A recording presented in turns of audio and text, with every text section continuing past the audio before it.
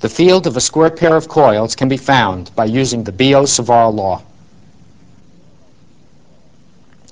Here are our square coils, each with 50 turns, and sides of length 45 centimeters. The axial magnetometer probe is mounted on this carriage to record the Z component of magnetic field. Before we apply current to the coils, we have compensated for the small part of the Earth's magnetic field that is in the horizontal direction by zeroing the magnetometer. The Earth's magnetic field is essentially vertical with a strength of about a half a Gauss and could contribute a slight error to the measurement if not accounted for. A current of two and a half amperes is applied to the coils.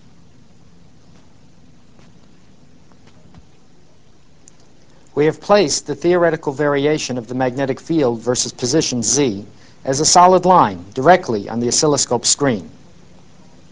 Let's see if the scope trace follows this theoretical curve. We have adjusted the scope vertical gain so that the display matches the theoretical waveform at one position. We'll see if the scope trace follows the shape of this theoretical curve.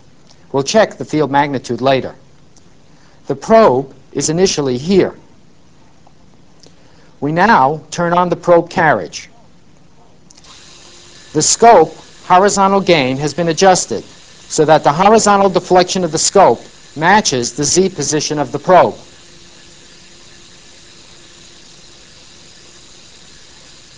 The magnetic field is largest directly under a coil. Now the left one at z equal minus d.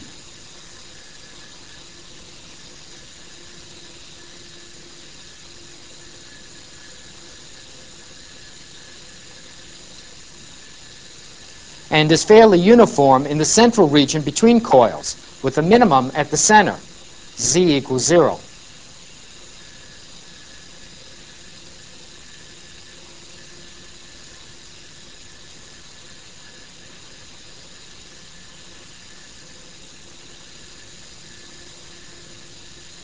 The field increases again to a maximum under the right coil at z equal d.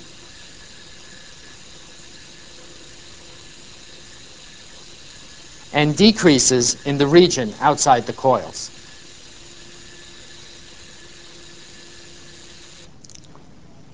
Now the magnetic field is an odd function around z equals 0. It is 0 in the center as expected.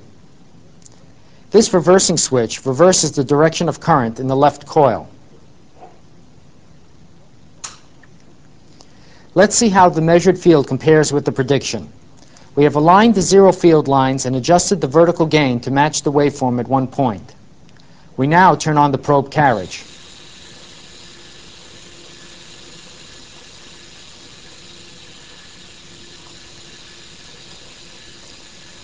The field is a negative maximum under the left coil.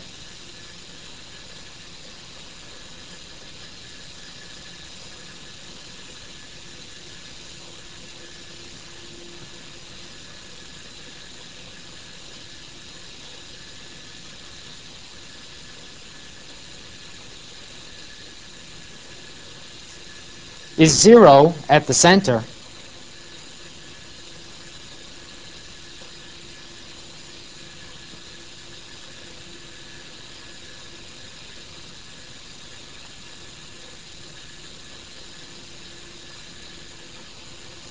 and reaches a positive maximum under the right coil.